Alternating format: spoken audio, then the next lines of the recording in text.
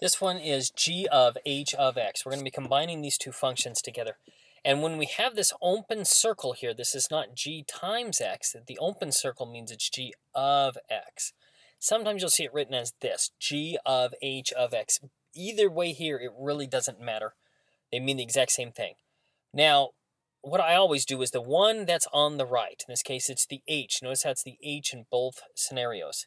The one that's on the right, we are going to plug in, the one that's on the right here, we're going to plug in for the other one.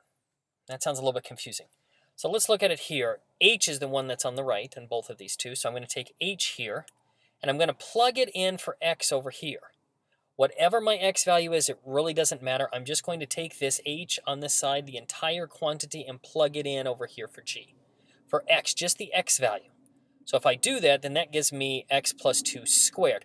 My X plus 2 is this H value here squared. I'm just plugging this in for X. The square does not change, that still remains there. Okay, so whatever's listed on the right-hand side, or whatever's listed second, if you want to think of it that way, that's fine as well.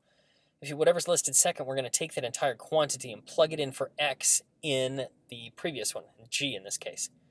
So if I do that, x plus 2 squared is the same thing as x plus 2 times x plus 2, which is, if I FOIL this out, this is x squared plus 2x plus 2x plus 4, which gives me x squared plus 4x plus 4.